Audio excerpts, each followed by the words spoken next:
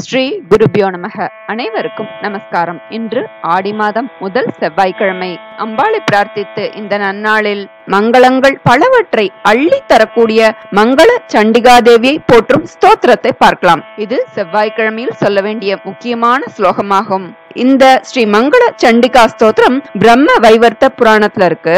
துர்கா சப்தசதியில் சண்டிகா தேவியானவள் சாமுண்டா அல்லது மாதா துர்கா என்று அழைக்கப்படுகிறாள். இந்த சண்டிகா தேவி மகாகாளி மகாலட்சுமி மற்றும் மகா சரஸ்வதியின் இணைந்த ஒரு அம்சம். தினமும் இந்த மங்கள சண்டிகா ஸ்தோத்திரத்தை அதை தவறாமல் ஜபிப்பவர்க்கு பணம் வியாபாரம் வீடு போன்றவற்றில் எந்த பிரச்சனைகளும் இருக்காது. திருமணத்தில் பிரச்சனை உள்ளவர்கள் இந்த மங்கள சண்டிகா ஸ்தோத்திரத்தை தொடர்ந்து ஜபித்து வந்தால் திருமண பிரச்சனைகள் விலகும் என்பது ஐதீகம். துன்பங்களை போக்குபவளான ஸ்ரீ துர்கையை போற்றும் இந்த மங்கள சண்டிகா ஸ்தோத்திரத்தை ராகு கால நேரத்தில் சொல்வதால் சகல சௌபாகியங்களும் கிடைக்கும். செவ்வாய்க்கிழமைகள் பொதுவாக தேவி வழிபாட்டிற்கு சிறந்த தினம்.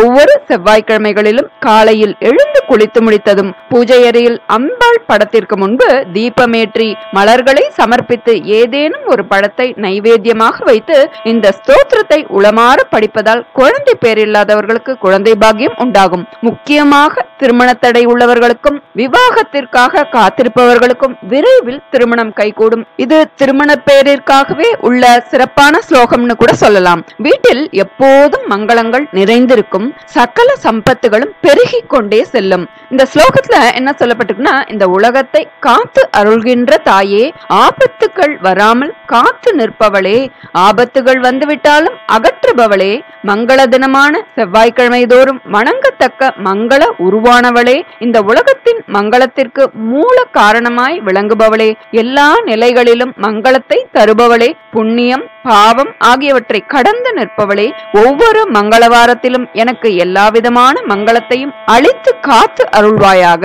அப்படின்றது தான் இந்த ஸ்தோத்திரத்தோட பொதுவான பொருள். இந்த ஸ்தோத்திரத்தில் முதலில் தொடங்கும் இருபத்தோரு எழுத்துக்கள் கொண்ட பீஜ மந்திரத்தை தொடர்ந்து சொல்லி வழிபடும் போது பக்தர்களின் அனைத்து விருப்பங்களையும் நிறைவேற்றும் வகையில் இந்த மந்திரம் அமைந்துள்ளது அப்படின்னு சொல்லப்பட்டிருக்கு.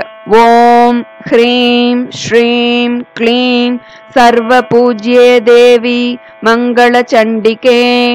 ஐம் க்ரோம் பட்டு ஸ்வாகா இதுதான் அந்த மூல மந்திரம் பீஜ மந்திரத்தை தொடர்ந்து சொல்லி வந்தால் நாம் நினைத்த காரியம் கைகூடும் என்பது நிச்சயம் நாம் இப்போ ஸ்தோத்திரத்தை பார்க்கலாம் ஸ்ரீ மங்கள சண்டிகா ஸ்தோத்திரம் ஓம் ஹ்ரீம் ஸ்ரீம் க்ளீம் சர்வ பூஜ்யே தேவி மங்கள சண்டிகே ஐம் க்ரோம் பட் स्वाहा इत्येवं चाप्येकविंशाक्षरो मणुः पूज्यः कल्पतरुश्चैव भक्तानां सर्वकामदः।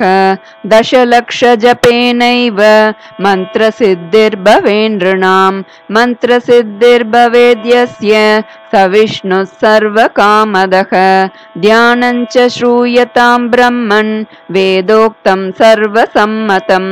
देवीं षोडशवर्षीयां शश्वत्सुस्थिरयौवनां सर्वरूपगुणाढ्याञ्च कोमलाङ्गीं मनोहरां श्वेतचम्पकवर्णाभां चन्द्रकोटिसमप्रभां वह्निशुद्धां शुकादानां रत्नभूषणभूषितां बिभ्रतीं कबरीबारं मल्लिकामाल्यभूषितं बिम्बोष्टिं सुदतीं शुद्धां शरत्पद्मनिबाणनाम् श्रद्धास्य प्रसन्नास्यां सुनीलोल्पललोचनां जगद्दात्रीं च दात्रीं च सर्वेभ्यः सर्वसम्पदां संसारसागरे घोरे पीतरूपां वरां भजे देव्याश्च ध्यानमित्येवं स्तवनं श्रूयतां मुने प्रयतः सङ्कटग्रस्तो येन तुष्टाव शङ्करः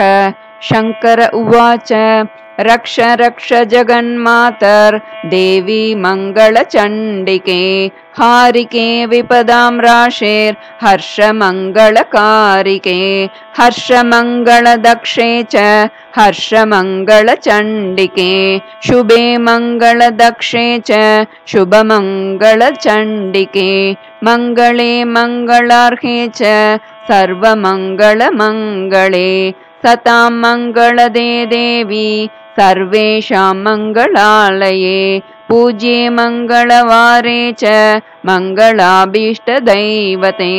पूज्ये मङ्गलभूपस्य मनुवंशस्य सन्ततम्। मङ्गलादिष्टातृदेवी मङ्गलाणां च मङ्गले।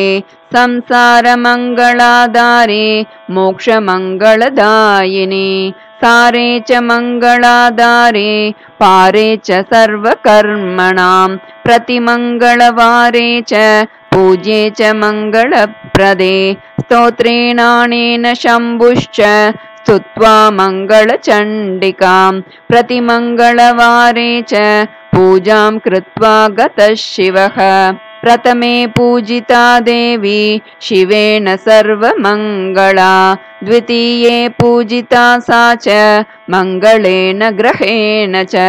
तृतीये पूजिता भद्रा मङ्गलेन नृपेण च।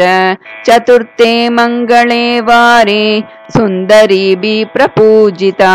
पञ्चमे मङ्गलाकाङ्क्षी नरैर्मङ्गलचण्डिका पूजिता प्रतिविश्वेषु विश्वे सा पूजिता सदा। ततः सर्वत्र सम्पूज्य बभूव परमेश्वरी। देवैश्च मुनिभिश्चैव मानवैर्मुनिभिर्मुने। देव्याश्च मङ्गलस्तोत्रं यः शृणोति समाहितः तन्मङ्गलं भवेत् तस्य न भवेत् तदमङ्गलं वर्धन्ते तत्पुत्रपौत्रश्च मङ्गलं च दिने दिने। वर्धन्ते तत्पुत्रपौत्रश्च मङ्गलं च दिने दिने। मङ्गलं च दिने दिने।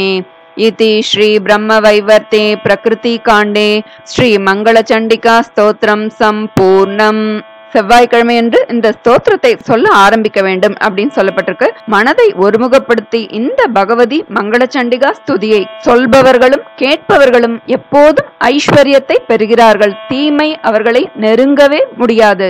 அவரது குடும்பத்தில் திருமணப்பேறு வம்ச விருத்தி என அனைத்து சுப காரியங்களும் நடக்க துவங்கும். ஒவ்வொரு நாளும் அவர்களது வாழ்வில் மங்களங்களே நடக்கும் அப்படின்னு சொல்லப்பட்டிருக்கு. அதனால் அனைவரும் இந்த ஸ்தோத்திரத்தை இந்த நன்னாளில் பாராயணம் செய்து சக சகல சௌபாகியமும் பெறுவோம். நல்லதே நடக்கும். நமஸ்காரம்.